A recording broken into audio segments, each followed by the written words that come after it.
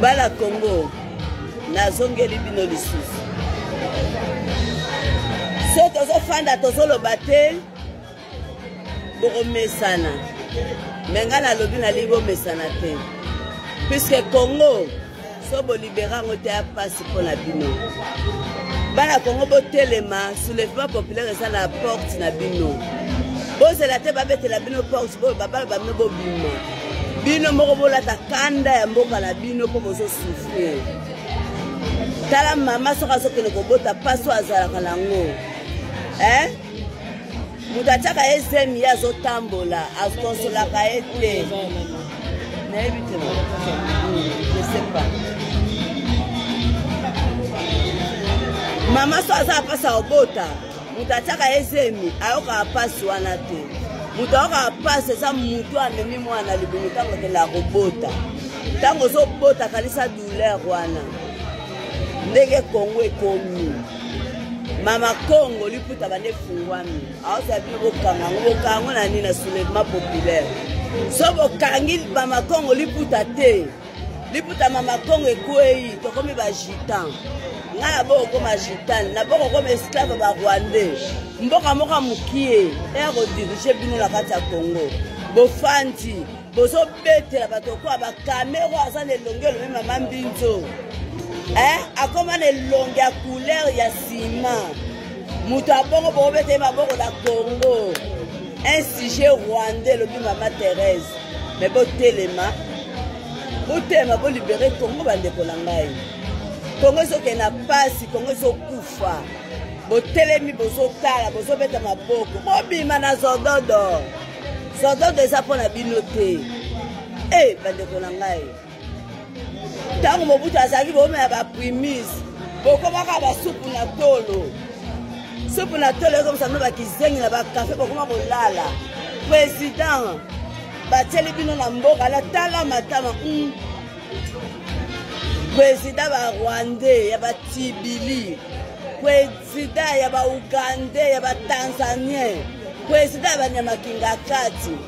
ana langage ya bato te aodirige bino aodirige bino na terme ni ya bambwa ya bamakaku obotelema ko botelema bobimisa ye mpo mboka ana bino bato bobimaka le 30 décembre mpo na kokende kovote bayibi bino pouvoir na bino mpo peuple moto adirigeaka mboka eza président te mpo bino bato bovotaka comment bino bovote président na bino bayibi bino pouvoir bofai na bino mpe bomona yango eza normal peuple congolais tokomi na peuple zairois botelema peuple zairois peuple zairoise botelema borécupere pouvoir na bino mpo so récupere pouvoir wana te bokokufa bino nyonso tali baoboma bino boliaka malonga te bozomela mai ya couleur ya malonga te hein? bokovivre comment lipa kutu mpo olia yango ifo defa ntango mokolo lipa oya kosenga mbongo komobima bofandeli kaka basupu na tolo basododo antata pdg ya bralima bandeko na ngai bolimbisa ngai ye moko asali video azolia tufi na ye na kati ya limba ebongo na kati ya masanga atieli bino nini batufi masuba makila yango nde epesi bino mpo bomela bofungola miso soki oyebi kozalaka na bakwiti to komi na bakwiti telema mpo mboka wana eza ya yo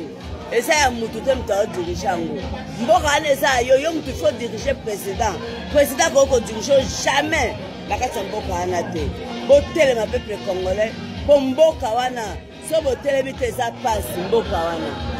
mboka wana bino bato bokolibera yango napesi parole ya mama deblone deblone bango mama na ngai esi nalembi nalembi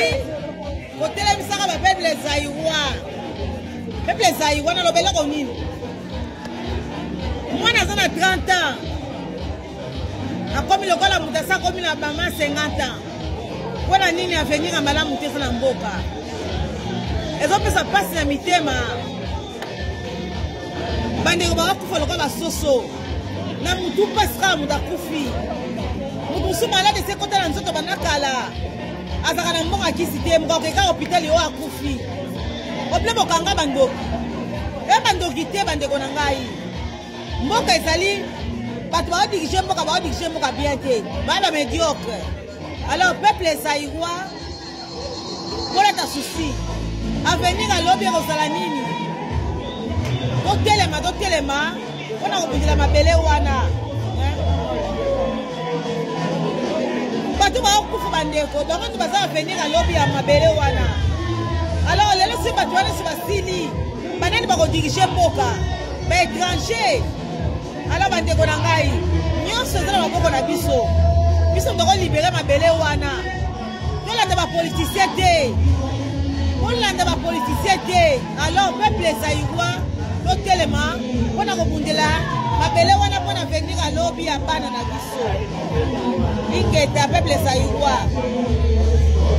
biso totelemi a ah, biso bato eza na libanda bino boza sur le terrain alors osala lokola biso totema na masuna malili me totema mpo na kobundela mabele wana bandeko na ngai motu nyonso ozalaka mabie na mboka na ye okosantira lese na mboka na yo bandeko na ngai tolata si mabele wana po tolibera yango alors peuple zaïrois ezali yo na ngai so tolibere mboka wana te un jour bakotuna biso bosalaki nini mpo na mabele wana bakoko ya bakoko bana na biso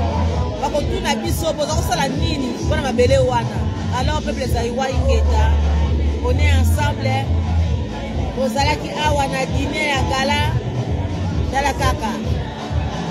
bamama bazalaki tolie vraiment avec plaisir à trop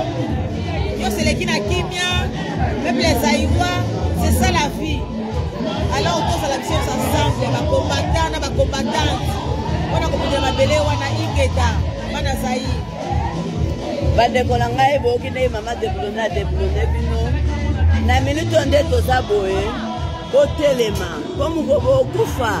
nzambe aotuna yo na sa mabele